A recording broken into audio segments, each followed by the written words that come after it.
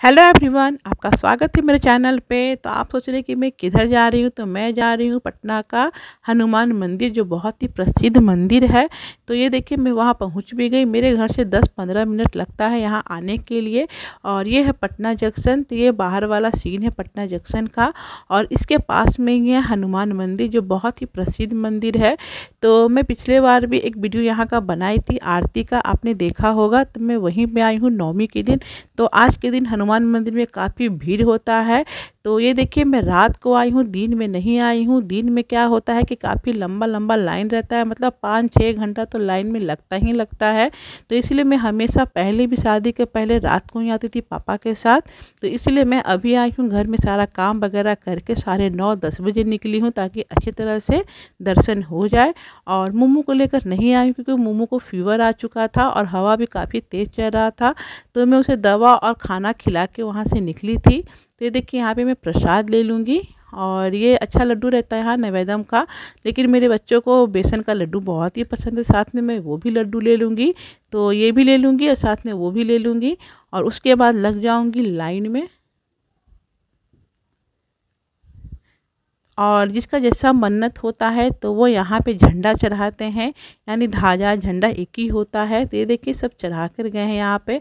लेकिन वो खाली पेट आते हैं, खाना खाने के बाद नहीं आने का रहता है। इसीलिए मॉर्निंग में काफ़ी भीड़ रहता है झंडा चढ़ाने वालों का।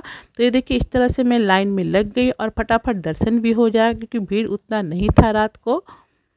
और काफ़ी तरह का झांकियाँ भी देखने को मिल रहा था और एक ही गूंज सुनाई दे रहा था, जय श्री राम, जय श्री राम। तो मुझे तो ये मंदिर बहुत ही अच्छा लगता है। मैं हमेशा यहाँ आते रहती हूँ और अच्छा अच्छा फीलिंग भी होता है। तो मैं हमेशा आती हूँ तो सोची कि आप लोग से वीडियो शेयर कर लेती हूँ।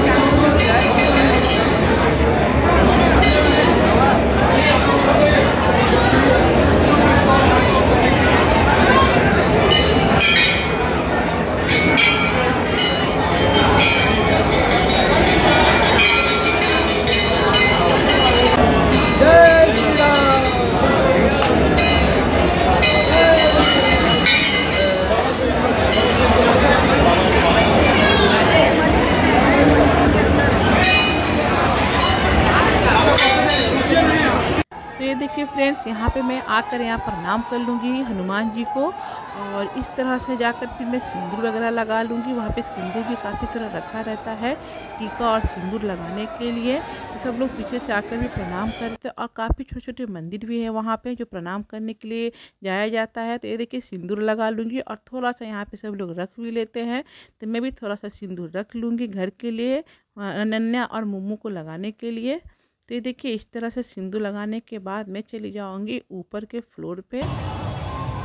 ये देखिए, यहाँ से कितना अच्छा दिख रहा है। पूरे रोड पे मतलब भीड़ ही भीड़ था और जय श्री राम का नारा गूंज रहा था और साथ में काफ़ी झांकियाँ निकला हुआ था। डीजे वगैरह के साथ जो राम, सीता, हनुमान जी बन के निकलते हैं, काफ़ी भीड़ भाड़ था। मुझे तो बहुत ही अच्छा लगा। तो अनन्या मोमो नहीं आई थोड़ा अफसोस लग रहा था, लेकिन नेक्स्ट टाइम मुझे ज़रूर लेकर आऊँगी दिखाने के लिए ये सब।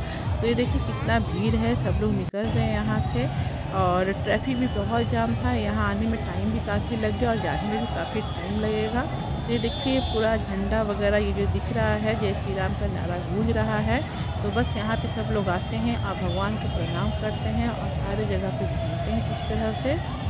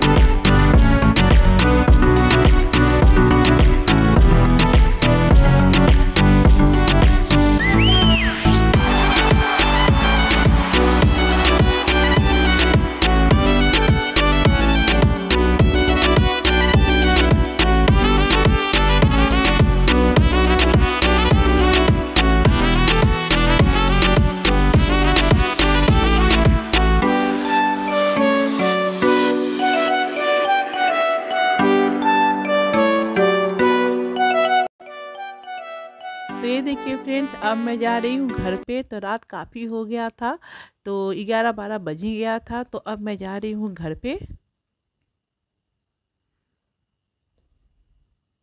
तो बस मेरे घर से ज़्यादा लंबा नहीं है दस पंद्रह मिनट लगता है, और रास्ता भी ज़्यादा मतलब बिज़ी नहीं था मतलब ट्रैफ़िक वगैरह कुछ भी नहीं था। फटाफट मैं घर पे पहुँच भी जाऊँगी तो ये देखिए मैं घर पे आ चुकी हूँ।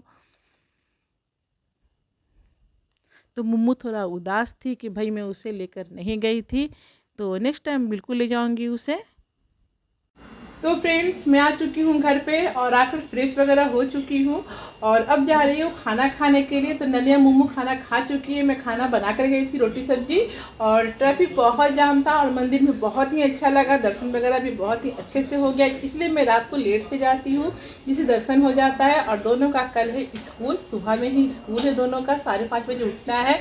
तो ये देखिए नन्या का भी यहाँ पे पढ़ाई चल रहा है। तो उनका तो पढ़ाई कभी ख़त्म होता ही नहीं है नन्या का।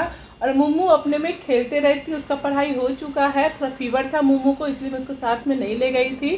तो फीवर का दवा वगैरह खा चुकी है मुम्मू और थोड़ा हो क्या रहा है ठंडा गर्म का जो मौसम हो रहा है अप्रैल के महीने में तो कभी उसको फीवर आ जा रहा है तो कभी ठीक भी रहती है।